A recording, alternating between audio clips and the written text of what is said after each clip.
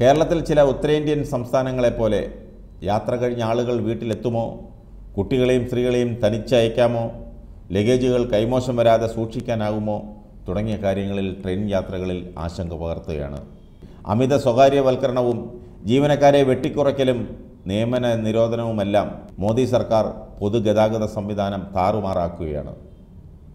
അതോട് ചേർത്ത് വായിക്കേണ്ടതാണ് ബോഗികൾക്ക് തീയിട്ട സംഭവങ്ങളും. രണ്ടായിരത്തി ഇരുപത്തി മൂന്നിൽ ഇതുവരെ ഉത്തർപ്രദേശ് മധ്യപ്രദേശ് അസം ഗുജറാത്ത് കേരളം എന്നീ സംസ്ഥാനങ്ങളിൽ പല ട്രെയിനുകളും തീയിട്ടു.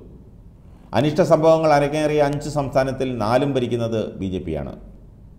അത് കാണാതെ കേരളത്തിൽ എൽ ഡി എഫ് സർക്കാരിനെ കടന്നാക്രമിക്കുന്ന ബി ജെ പിയും അതിന് കുടപിടിക്കുന്ന കോൺഗ്രസും ഒരേ തൂവൽ പക്ഷികളാണെന്ന് പറയാതിരിക്കാൻ വയ്യ.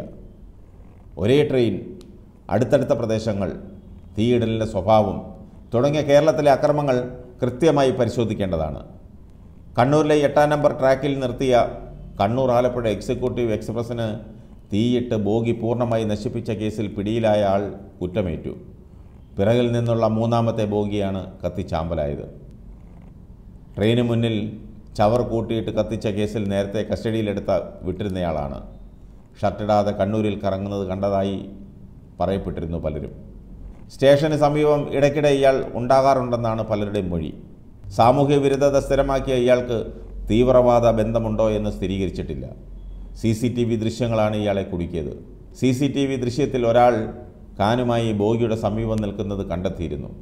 ട്രെയിനിൽ നിന്നുള്ള വിരലടയാളത്തിന് ഇയാളുടെ വിരലടയാളവുമായി സാമ്യമുണ്ട്. അങ്ങനെയാണ് ഇയാളാണ് പ്രതിയെന്ന് അനുമാനത്തിലെത്തിയത്. ഇയാൾക്ക് മനോവിഭ്രാന്തിയുടെ ആനുകൂല്യം നൽകി ഇത്തരം ഹീനമായ അതിക്രമങ്ങൾ നിസ്സാരമായി കാണുന്നത് അപകടകരമാണ്.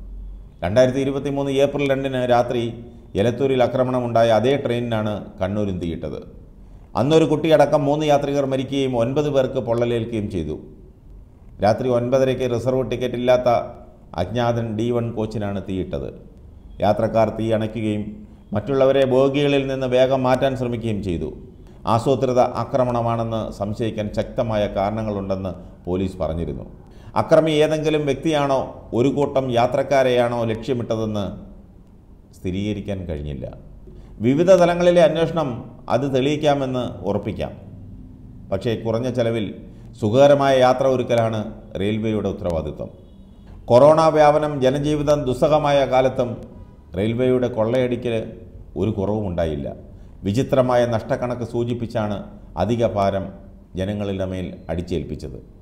ടിക്കറ്റിൽ മുതിർന്ന പൗരന്മാർക്കുണ്ടായ ഇളവുകളടക്കം അൻപത്തി മൂന്ന് വിഭാഗത്തിന്റെ ആനുകൂല്യങ്ങൾ നിർത്തി. വരുമാനം കൂട്ടാനെന്ന അവകാശവാദവുമായി സുരക്ഷാ സെസ് ഏർപ്പെടുത്താൻ തീരുമാനിച്ചതും യാത്രാ ചെലവ് അമിത ഭാരമാക്കി യാത്രക്കാർക്ക് നേരെ സാമൂഹ്യ വിരുദ്ധ ആക്രമണം ഏറിയിട്ടും സുരക്ഷാ നടപടി സ്വീകരിക്കുന്നതിൽ വീഴ്ച വരുത്തുകയാണ്. സ്റ്റേഷനുകളിൽ സി സി ടി വി സംവിധാനം നാമമാത്രമാണ്. കണ്ണൂരിൽ അത് പ്രവർത്തിക്കുന്നതുമില്ല. പിന്നെ എങ്ങനെ ആക്രമങ്ങൾ ഉണ്ടാകാതിരിക്കും?